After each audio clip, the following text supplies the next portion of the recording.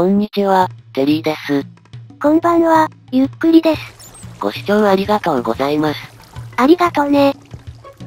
さて前回は、とある事情でマラソンをしていました。健康的だしいいんじゃない？さて、気分を新たにどんどん掘っていかないといけないですね。そろそろペースを上げたいところです。とにかく凝らないと要塞が出てきません。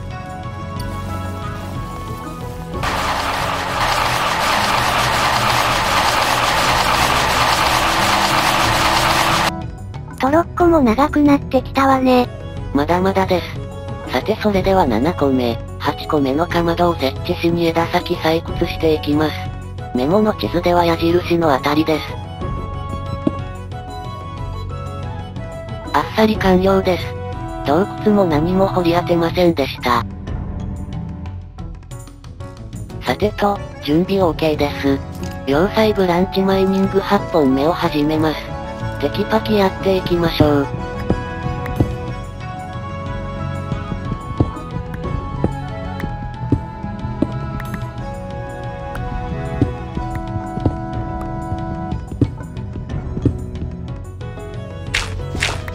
終わりました。早いわね。最短記録だったんじゃない採掘時間は19分ほどです。今までで最も早かったです。峡谷すらなかったんですよ。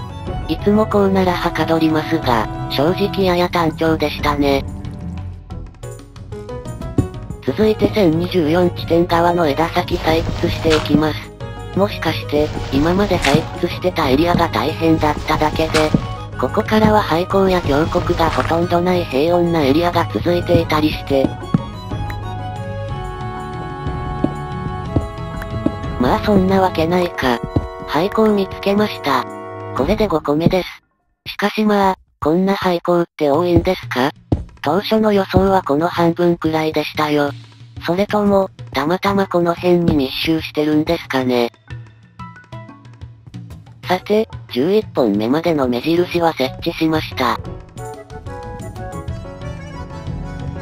では、要塞ブランチマイニング、9本目を始めますね。3分ほど採掘したら廃坑を掘り当てました。多分、ついさっき見つけた廃坑に繋がってます。それにしても、大空洞に突き出た廃坑は見応えありますね。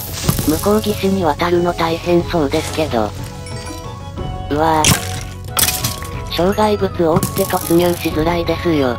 どうしたものだか。とりあえず、頭上注意をなんとかします。あとは左右を塞げれば。おっとやばい。お、今のうちですね。え？そこ登れるの？一匹暇くらいください。落ちてく様がいいわね。大空中コンボ。さてなんとか渡り切ったところですが、ゾンビが追ってきてますね。これ、スケルトンだったら面倒なことになってました。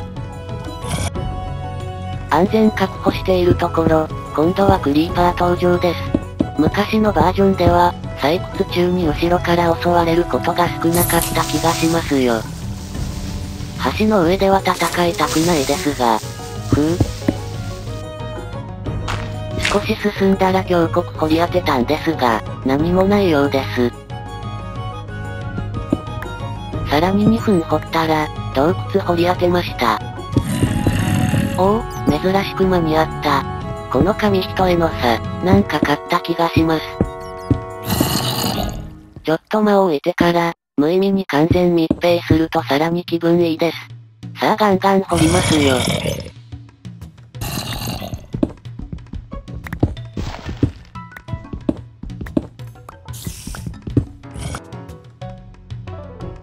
すぐまた洞窟掘り当てました。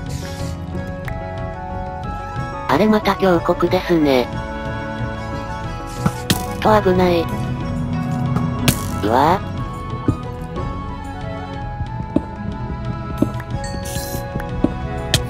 うおっと。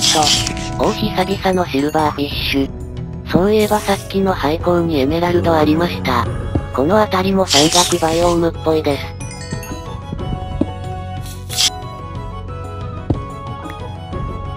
2分掘ったらまた峡谷掘り当てました。今度はちょっと嫌な幅がありますね。何気にスケルトンは真上は気づかないんでしょうか。そういえば真下あたりから撃たれたことなかった気がします。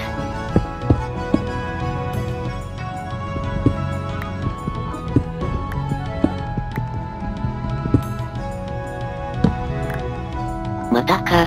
峡谷多いですね。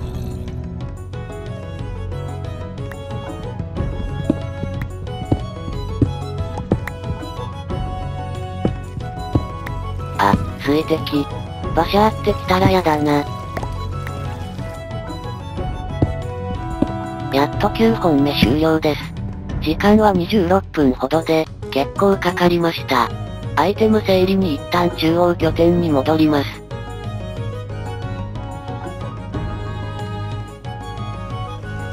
食料生産はひとまずコップンだけで足りそうですね。廃校探索する時などは、満腹度の減りが激しいですが、ブランチマイニング中はあまり減りませんね。さてアイテム整理完了です。頑張って続きを採掘してきます。では枝先採掘をしていきます。そろそろここらで廃校を掘り当てると思いますよ。そっか、そろそろ廃校拠点の真上を通るものね。位置的には、12個目のかまどの真下あたりに廃校拠点があるはずなんです。廃校拠点の人参畑の収穫を考えると、直通の階段作っておきたいですね。まあ急いで階段作らなくても、廃校の探索隅エリアをぶち抜くかもしれないです。あれ？いやいやいやスポーンの固形石だったりとか。これ固形石じゃなくて固形石レンガよ。そりゃいつか見つかると思ってましたけど、いざ見つかると信じがたいです。まあ長かったものね。どうやら要塞をやっと見つけました。ここまでのプレイ時間はほぼ30時間です。ほんとよかったなんとか見つかった。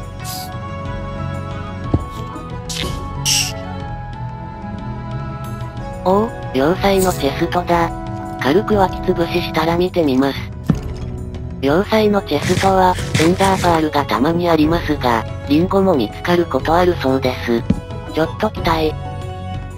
あと気がかりなのは、ポータルがちゃんとあるかどうかです。稀にないこともありますので、あとは図書館ですね。幸運3のエンチャントがないとダイヤ集めがきついです。この先行ってみましょうか。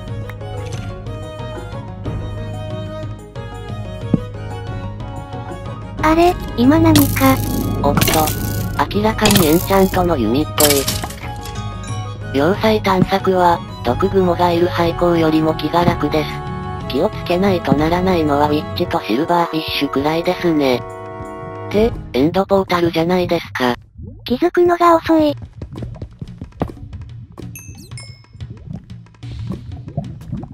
エンダーアイは2つ置いてありますね。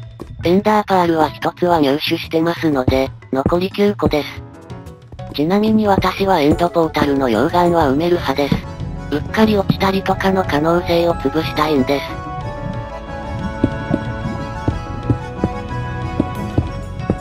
さて、これで OK です。チェストを覗いてみます。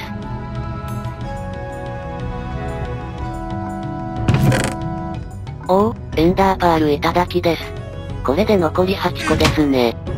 何気に、残り8個のエンダーパール集めるの大変よね。図書館を見つけられれば、ドロップ増加のエンチャント券を作れますよ。村人取引は、と、準備が整うかまだ微妙ですね。まあいざとなれば、残り2つの要塞を掘り当ててしまう手段もあります。場所は計算で特定できそうですから、ともかく一旦アイテム整理して、要塞探索の準備を整えてきます。さて、次回は要塞探索します。とにもかくにも、図書館を見つけてエンチャントできるようにしたいです。それではまたね。バイバイ。